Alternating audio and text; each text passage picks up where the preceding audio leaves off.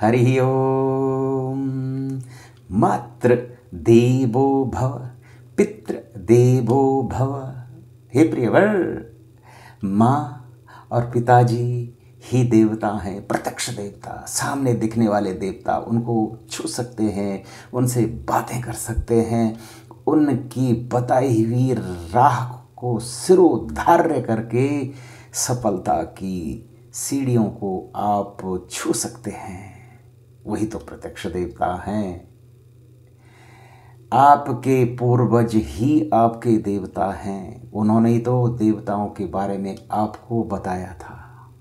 इसलिए प्रथम देवता वही हैं आपके माँ बाप पितृदेवो भव।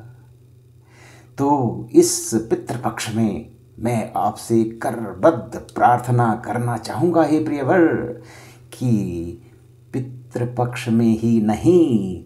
पूरे साल भर श्रद्धा पर्व मनाना चाहिए। आपके घर में सबसे प्रथम जो भी व्यंजन बनते हैं, आपकी पवित्र रसोई में, वो देवताओं को, पितरों को अर्पण करने के साथ साथ उन निराश्रित जीव जंतुओं को भी आप रोज कुछ न कुछ दान कर दिया करें।